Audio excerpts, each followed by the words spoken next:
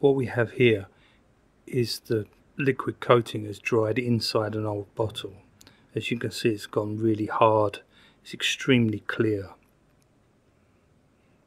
As it's dried and shrunk a little bit, it's fallen out of the bottle.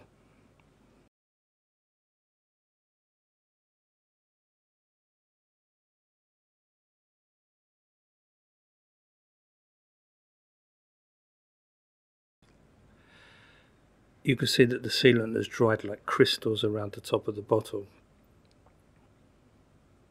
It's on the outside of the bottle, but it, it's it's stuck fast. There's no getting it off. It's absolutely like a glass coating. If I tip out some of this on my hands, you can see that it's, it's dried into like little bits of glass. It's not quite as heavy as glass. It's a little bit more resin-like than glass, but it's extremely hard and sharp.